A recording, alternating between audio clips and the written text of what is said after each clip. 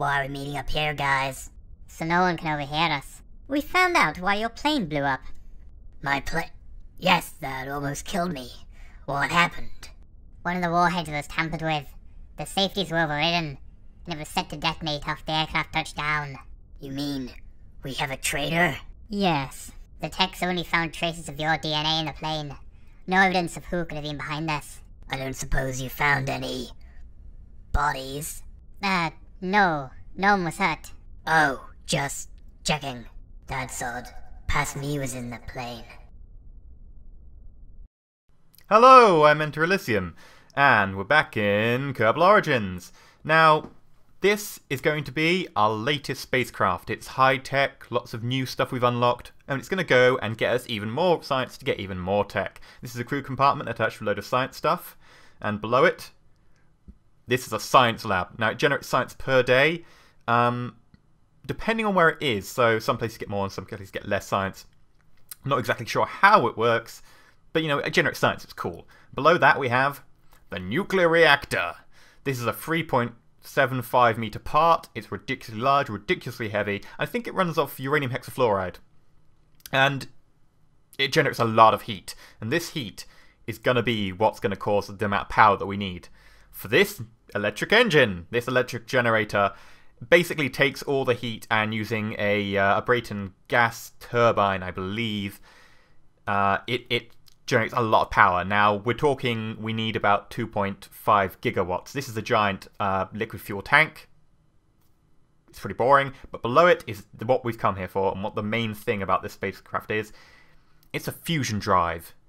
It takes pellets of deuterium and tritium, and using 2.5 gigawatts of electricity, which is ridiculous, it uses a laser to create confinement fusion to power the spacecraft. Now, above it, we have attached to it some parts. We have got some uh, jet engines, which use the liquid fuel because we have it anyway to try and you know give us more lift.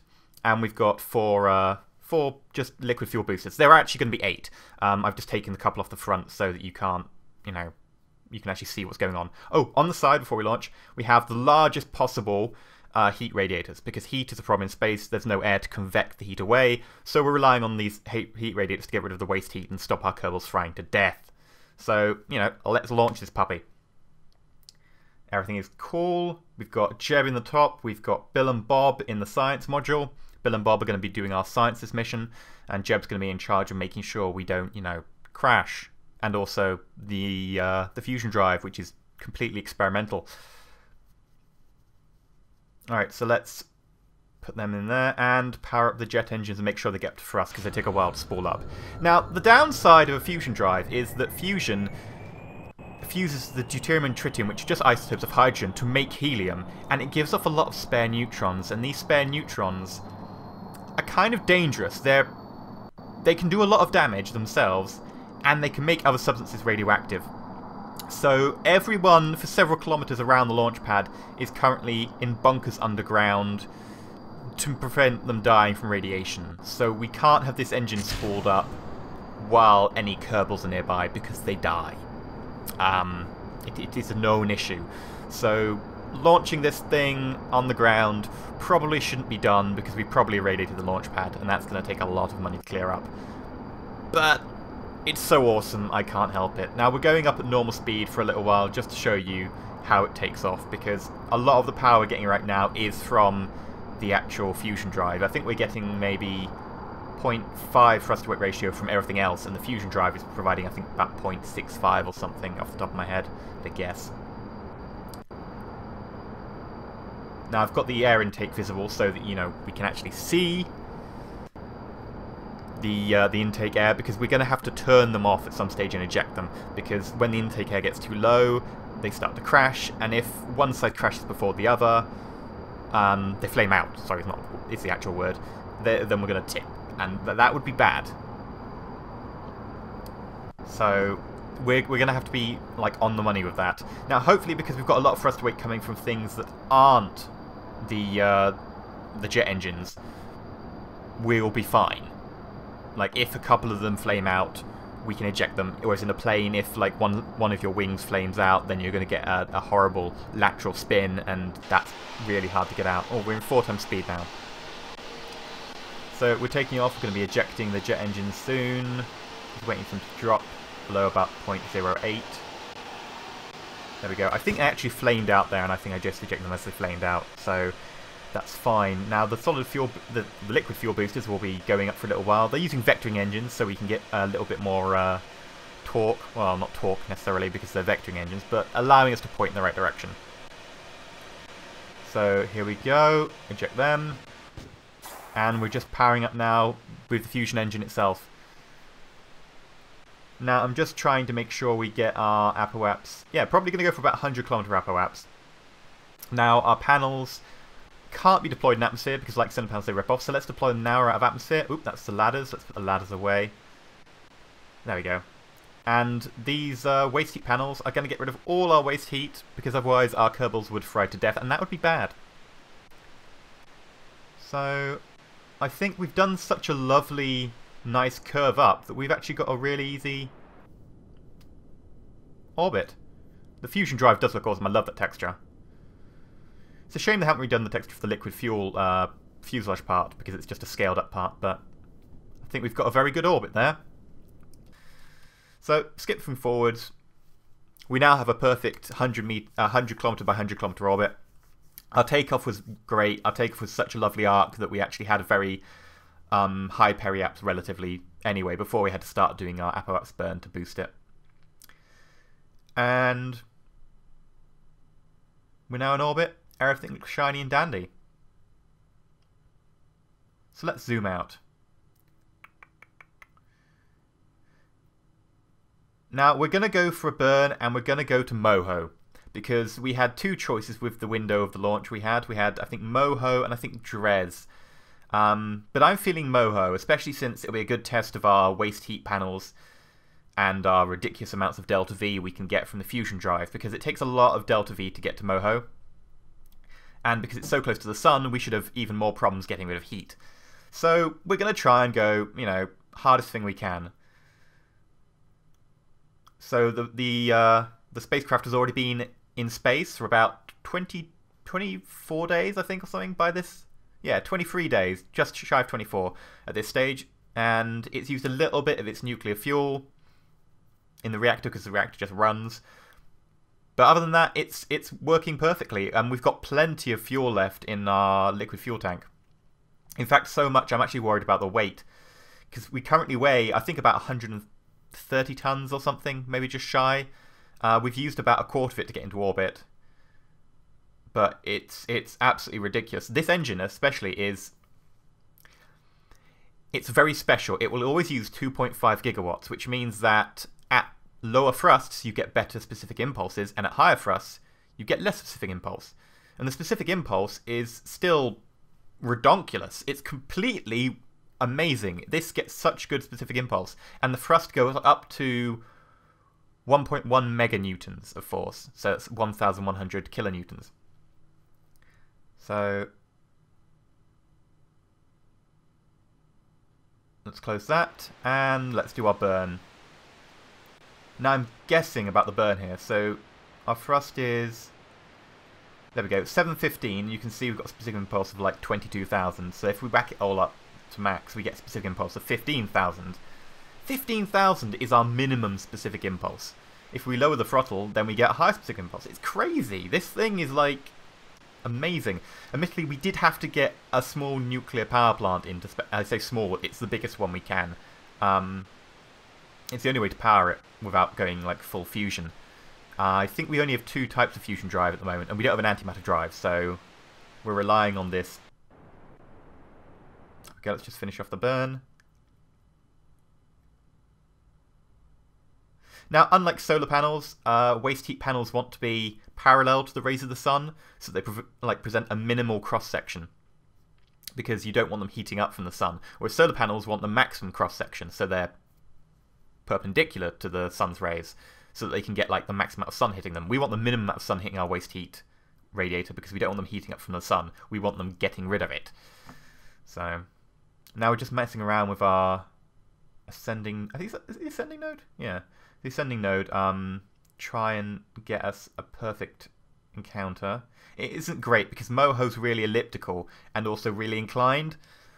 which is why it takes a lot of delta V to get there, which is why I thought this would be a brilliant test.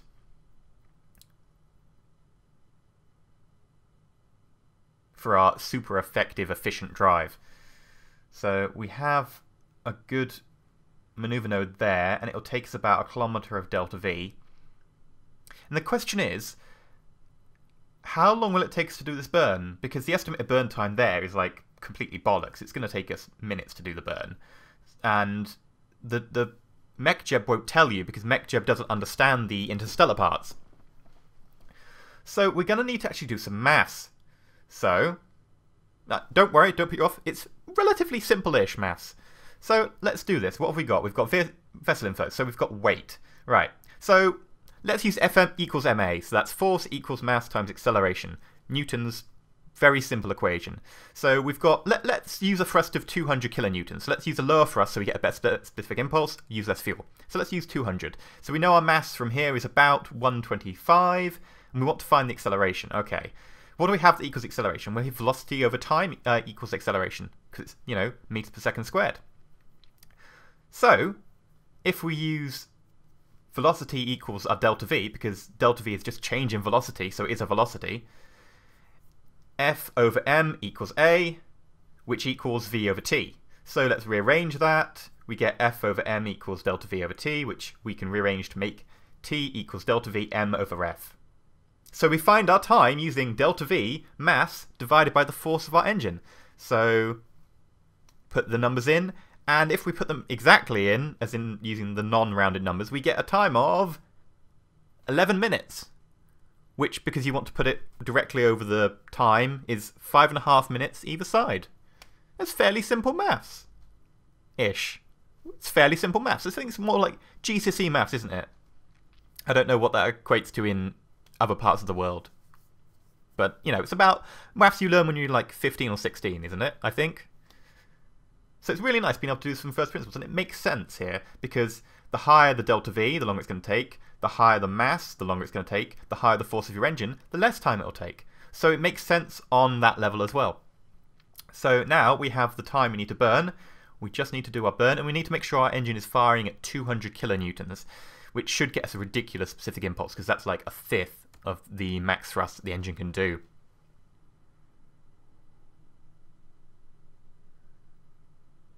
Right, so let's set up a alarm clock because I, I've got used to the fact that every time I'm eh, time accelerating recently, I've been skipping past spheres of influence, maneuver nodes. I'm really bad at time acceleration. So let's put a maneuver node in, and this maneuver node will stop time acceleration. So let's just fast forward as fast as we can. And I'm, I'm hoping it'll stop it because if not, I'm, I'm putting my fate in this and we're going to be going right to the wire. But, uh... oh, oh, yes, it is stopping it. Good. I was really, really worried. Um, oh yeah, I put it six minutes ahead of it, so we want five and a half minutes, so we're going to be waiting extra 30 seconds. But that should give us time to make sure we're aligned with the node. We are. Check all our stats. Uranium hexafluoride. I think it's uranium hexafluoride. UF4. We've got plenty of that. Haven't even used 10%. So let's power up the engine. Thrust. I think that's about as close to 200 as we can get. Now we're on about 24 times time acceleration here because this burn takes 11 minutes as, you know, we calculated. And I didn't really think you wanted to watch 11 minutes of just having the engine on. Um, I admit I tabbed out at this point and, you know, did something else. And bam! Look at that. We got it right within a few seconds. So let's get rid of that. And we aren't getting an encounter now, but we're getting really, really damn close. And our ascending node is actually ahead of us now, so we can actually go ahead and put another node on and still get an optimal trajectory from it. So skipping further ahead, we managed to get our encounter, so let's slow ourselves down. Fire at the fusion drive. I don't think we need to pack, whack it full blast to max. I think we're roughly uh, 400 newtons worth of thrust. Should be enough to slow us down.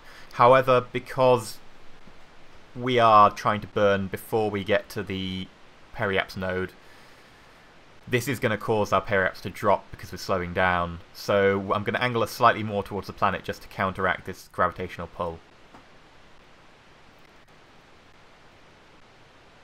And you can see now we're getting eclipsed by Moho.